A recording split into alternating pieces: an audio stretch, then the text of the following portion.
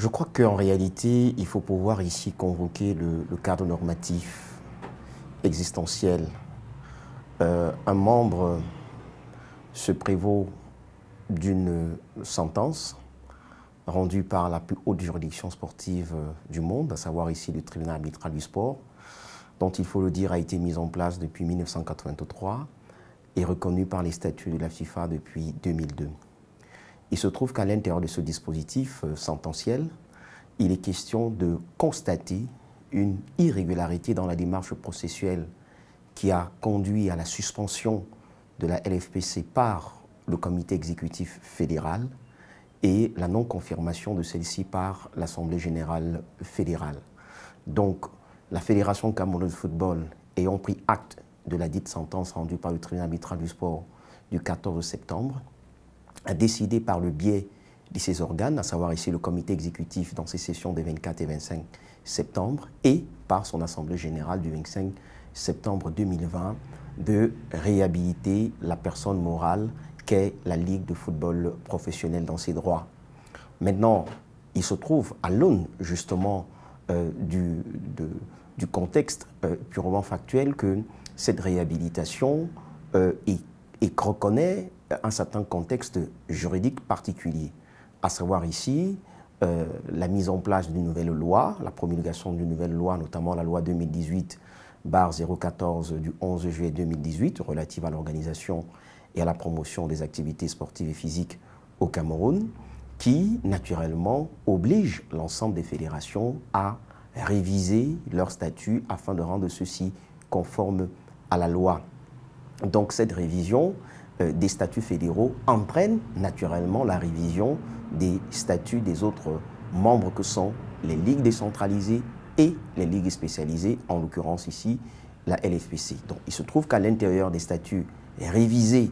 de la Ligue de football professionnel, notamment ceux du 26 juillet 2019, il se trouve que un certain nombre de membres, ex-membres du conseil d'administration d'alors, ont perdu toute qualité représentative au sein euh, de, cet organe-là. Par conséquent, ne peuvent plus siéger pour prendre des décisions au nom et pour le compte de la LFPC. Ajoutez aussi également à cela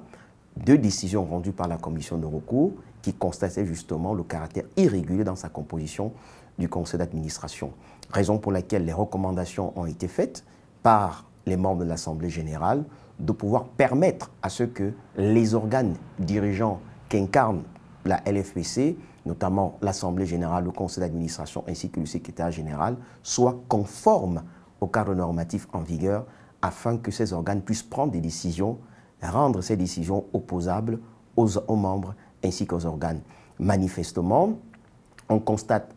vraiment en le déplorant que du côté justement de ceux qui prétendent ou prétendaient incarner jusqu'ici euh, l'autorité euh, tutélaire au sein de la Ligue de football professionnel du Cameroun, on s'est refusé manifestement de tenir compte de cette évolution du cadre normatif et naturellement de permettre à ce que les organes puissent s'exprimer. Et naturellement, il est de bon ton que la Fédération camerounaise de football, par le biais de ses organes, notamment son comité exécutif, puisse tirer toutes les conséquences de droit, parce qu'il faut pouvoir le rappeler, en vertu des dispositions de l'article 19 des statuts du 26 juillet 2019 de la Fédération, les ligues spécialisées et décentralisées sont subordonnées à la Fédération. Et naturellement, la Ligue du Cameroun, étant une ligue spécialisée, organise et exerce ses activités sur la base d'une délégation de compétences. Donc, il est de bon ton qu'en cas de manquement ou en cas de défaillance ou de dysfonctionnement, là, une fois de plus, en vertu des dispositions de l'article 93, alinéa 2 euh, des, euh, des, règlements généraux de la fédération, que le comité exécutif puisse tout simplement constater euh, un non-fonctionnement normal et puisse naturellement mettre un terme à ce qui peut apparaître justement aux yeux à la face de l'opinion comme étant une crise.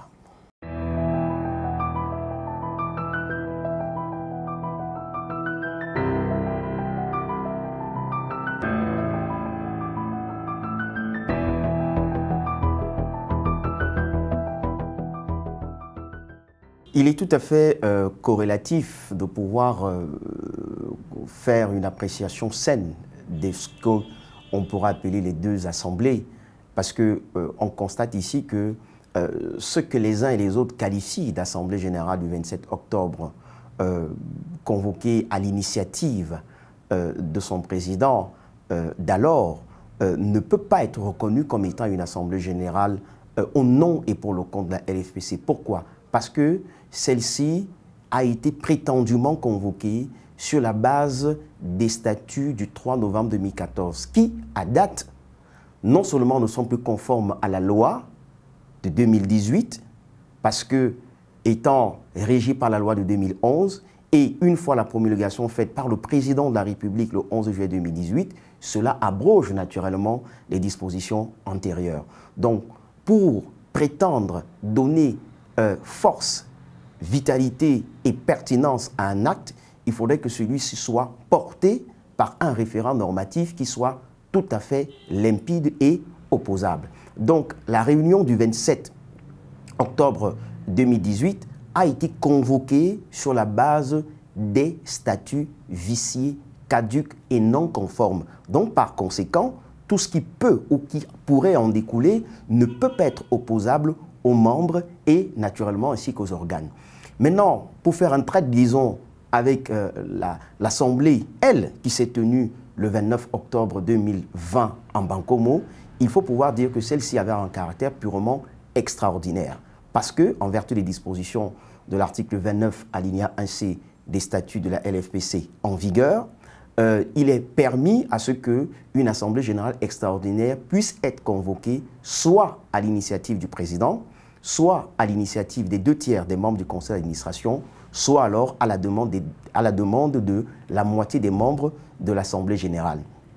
Ce qui a été euh, naturellement fait, c'est-à-dire qu'on avait 21 membres de l'Assemblée générale régulièrement affiliés qui ont introduit une demande pour la tenue d'une Assemblée générale avec pour unique point à l'ordre du jour la dissolution de la LFPC en vertu des dispositions de l'article 87 des statuts en vigueur. Et il faut rappeler que euh, cette disposition de l'article 29 permet à ce que, au bout de 15 jours, si le président de la LFPC n'a pas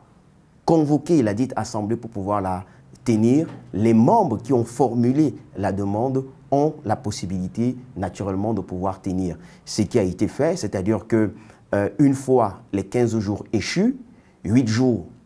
au cours des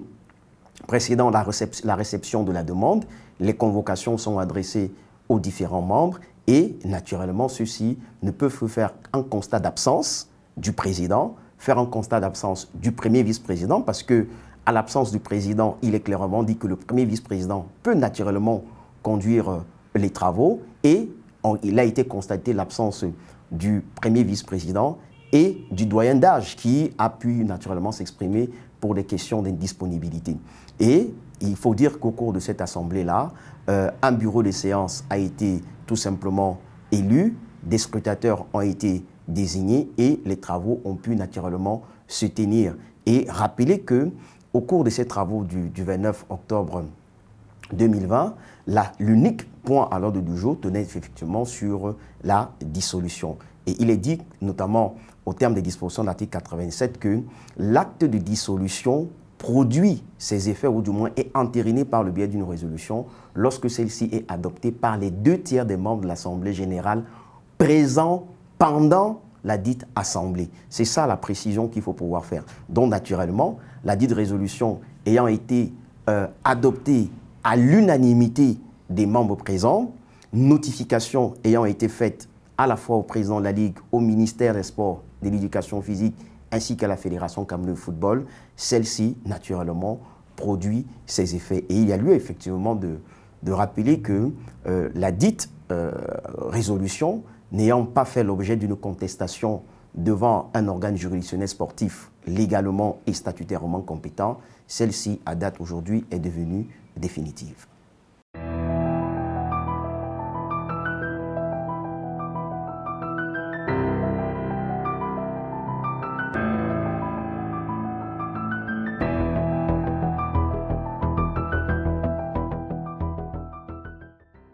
C'est un débat qui est tout à fait euh, naturel, celui de rappeler les missions euh, dévolues à la Fédération Cameroun de football, à savoir ici euh, la promotion, la vulgarisation et développement du foot. Et qui dit promotion, vulgarisation et développement du foot, cela revêt un caractère purement inclusif et non un caractère exclusif. Donc si on veut raisonner sur le plan inclusif, il est clair que même le football professionnel fait partir de ce caractère inclusif. Maintenant,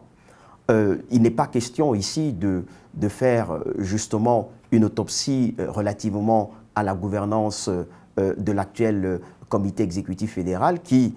tant bien que mal, essaye de conduire un processus tout à fait normal. Nous sommes convaincus que dans les prochains jours, notamment, des réformes seront engagées pour permettre à ce que les championnats au niveau des ligues décentralisées, que ce soit les championnats départementaux et régionaux, puissent retrouver une certaine santé sur le plan organisationnel, que le football féminin également puisse euh, respecter euh, cette démarche processuelle-là, que le football jeune puisse naturellement retrouver la dynamique qui a été celle d'antan, que les autres composantes, à savoir le beat soccer et le futsal, puissent naturellement euh, aussi retrouver cette santé d'antan. Mais ceci n'exonère pas ou n'exempte pas le comité exécutif à pouvoir tirer la sonnette d'alarme pour pouvoir améliorer ce qui doit l'être. Donc, il est toujours important de rappeler que le comité exécutif fédéral, en tant qu'organe, est bel et bien l'autorité compétente pour toutes les questions relatives aux compétitions. Que les ligues spécialisées, que sont la Ligue de football professionnel qui, hier, l'était encore, la Ligue de football féminin, la Ligue de football jeune, organisent et exercent leurs activités sur la base d'une délégation de compétences. Donc, à la vérité, euh, je crois qu'il ne s'agit pas, de mon point de vue, euh, d'un débat euh, creux. Il est question tout simplement d'avoir l'honnêteté intellectuelle et la cohérence sidérale nécessaire pour reconnaître que l'actuel bureau est naturellement dans ses droits et il ne s'agit pas d'avoir forcément une attitude de confiscation ou de réappropriation de ce qui l'est pour le comité exécutif. Nous pensons tout simplement que, euh, à mon humble avis, il est question euh, de mettre en place une organisation nouvelle autour d'une philosophie nouvelle pour justement améliorer un processus managérial qui a besoin de l'être.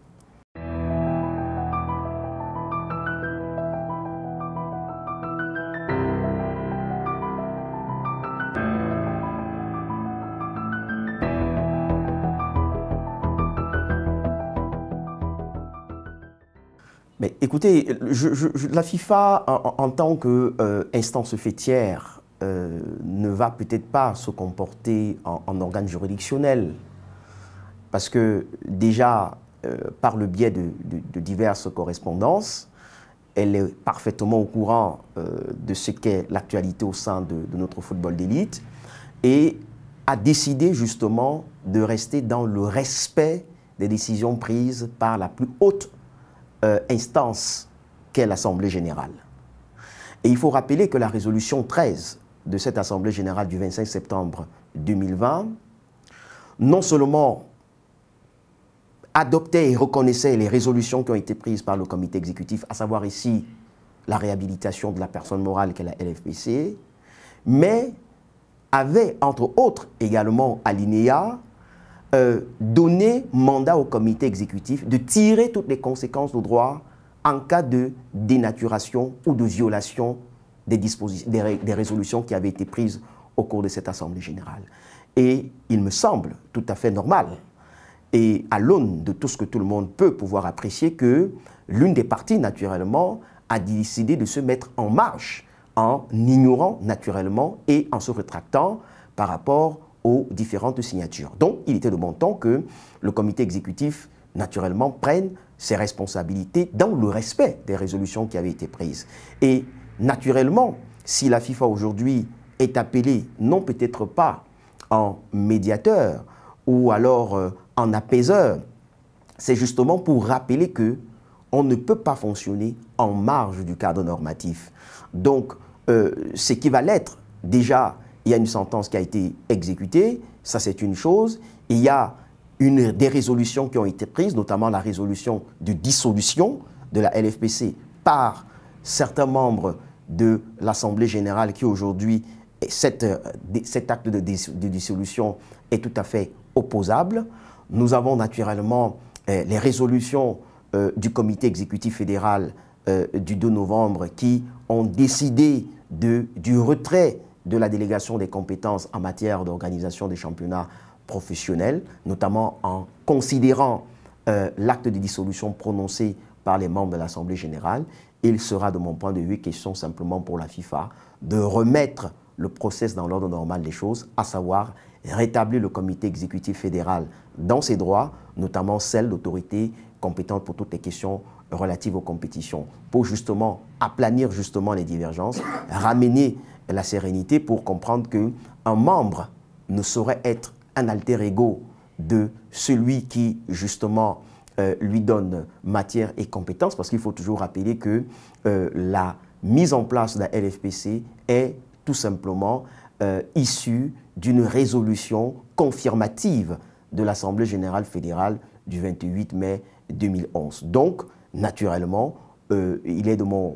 point de vue tout à fait judicieux pour la FIFA lorsqu'elle a été sollicitée notamment par le président de l'Africa Foot, président du comité exécutif, de pouvoir apporter un certain nombre de clarifications euh, situationnelles pour permettre à ce qu'il y ait une meilleure relance des activités sur le terrain. Euh, nous n'oublions pas que notre football est interpellé euh, sur plusieurs fronts à l'international, notamment l'organisation du championnat fait des nations qui est prévu pour démarrer à partir du 16 janvier au 7 février 2021. Nous avons des clubs camerounais engagés en compétition africaine, donc euh, euh, les adversaires sont connus et pas des moindres. Euh, le représentant PWD de Baminda qui va devoir affronter les Kaiser d'Afrique du Sud. Nous avons également les éliminatoires des Cannes U17 et U20 en ce qui concerne les garçons. Et naturellement, au niveau féminin, nous avons cette fenêtre FIFA pour, les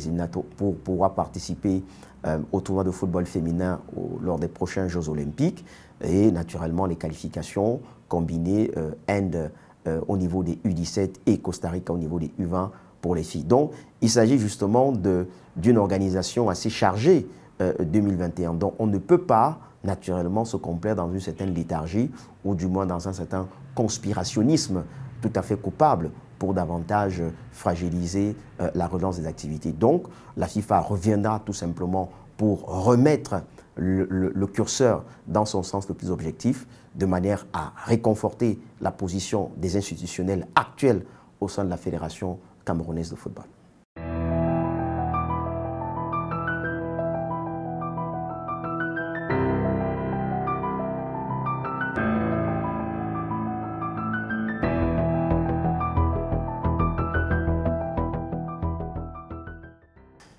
Les préjudices, euh, ou du moins les, préjudices, ils, sont, parfaitement lisibles. Nous avons aujourd'hui, euh, suite à l'effet de, de, Madame Covid depuis le mois de mars, euh, des garçons qui ont passé pratiquement six mois à sept mois sans activité active, mais de manière tout à fait passive, parce que forcément, pour certains, on, est resté dans des protocoles individualisés, mais il est question de retrouver un processus de réactivisation, un processus de recompétitivité tout à fait à la hauteur des exigences du sport de haut niveau. Donc, la meilleure façon de pouvoir redonner sens, vie et corps à, cet idéal-là, ou du moins à cette maxime, c'est de pouvoir retrouver effectivement euh, euh, les terrains de jeu. Et euh, tout en rappelant que, à la suite de, plusieurs résolutions et de certaines circulaires, notamment du secrétaire général actuel de la Fédération de football, la plupart des clubs, que ce soit d'élite, que ce soit amateurs, ont repris le chemin des entraînements. Donc, il est question tout simplement de donner une possibilité à ces jeunes-là de réintégrer le sens de la compétition organisée. Donc, au niveau de l'élite, tout est parti pour justement euh, reprendre le mercredi 18 euh, novembre 2020. Il faut dire que c'est un report qui a été euh, sollicité et obtenu à la demande des clubs professionnels. Donc c'est pour dire que au niveau de l'état d'esprit, au niveau justement des dispositions organiques, on est tout à fait engagé à reprendre les services sur le terrain. Et au niveau amateur, il faut dire que euh, plein de conseils régionaux sont en train de se mouvoir, de se mobiliser à l'effet de faire la ronde, à l'effet de ramener la sérénité auprès de leurs différents membres. Il en est de même pour les championnats départementaux. 36 ligues aujourd'hui sont dans l'optique de pouvoir euh, se mettre en ordre pour la relance euh, des activités. Donc, euh, il est important que ces atermoiements, qui de mon point de vue sont des atermoiements purement artificiels, puissent naturellement être mis de côté et de manière à ce que on puisse retrouver justement le sens de la rectitude. Et, et je pense qu'il n'y a pas meilleur sens de la rectitude que de rester dans le respect euh, euh, des textes organiques qui régissent l'essence et le fonctionnement euh, de notre activité.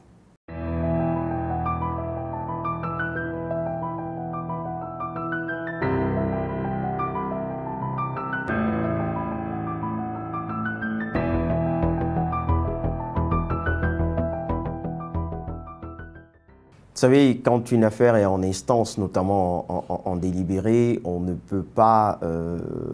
se livrer à un exercice purement euh, hâtif. Euh, je crois qu'il y a eu un moment d'appréciation des, différentes,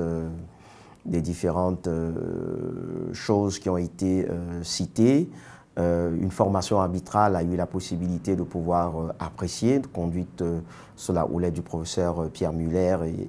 et, Gérald Simon. Et, je crois qu'il faut pouvoir donner la possibilité à, ceux-ci de pouvoir nous donner une saine lecture. Vous savez que quand vous allez devant le tribunal arbitral du sport, vous êtes lié par plusieurs éléments, notamment les moyens de défense qui sont produits par les différentes parties, le droit positif applicable au parti, qui est ici effectivement le droit positif camerounais, en vertu de votre cadre normatif, que ce soit la, que sont la loi de votre pays et ainsi que euh, les statuts. Et le droit suisse n'est qu'appliqué qu'à titre supplétif. Donc, il est euh, à la demande de, certains membres question euh, de demander l'annulation de la résolution de l'Assemblée générale du 10 octobre 2018 portant adoption des statuts de la Fédération euh, camerounaise euh, euh, de football. Et il y a quand même lieu de repréciser ici que cette résolution de l'Assemblée générale du 10 octobre 2018 a fait l'objet d'une révision au cours d'une Assemblée générale fédérale du 26 juillet 2019. Est-ce que forcément il y aura une corrélation qui sera établie entre la résolution en elle-même de l'Assemblée générale du 10 octobre 2018 ainsi que l'ensemble du processus électoral, lorsque l'on sait également que euh, la loi, notamment, a rendu la procédure de conciliation obligatoire? Donc, il y a eu euh, un premier verdict qui a été rendu par euh, la Chambre de conciliation et, d'arbitrage en première instance au niveau national, qui, naturellement, s'était prononcée incompétente à pouvoir statuer, selon elle, sur les nouvelles demandes, parce que justement, euh, la demande relative à l'annulation du processus électoral n'avait pas subi la procédure de conciliation pour aboutir soit à un procès verbal de non-conciliation, soit un procès verbal de conciliation totale, ou alors à, euh, un procès verbal de conciliation. Et naturellement, ceci a fait l'objet euh, d'un appel par devant le TAS. Il est tout simplement question d'attendre et de pouvoir laisser quel sera le dénouement ou du moins quelle sera l'issue verticale qui sera donnée par euh, la dite formation arbitrale. Donc, euh, il est question de faire montre tout simplement de patience, de lucidité et euh, le moment venu de pouvoir tout simplement voir quel sera l'épisode vers lequel nous allons une fois de plus voir notre football camerounais être dirigé. Mais qu'à cela ne tienne, il est question, de mon point de vue,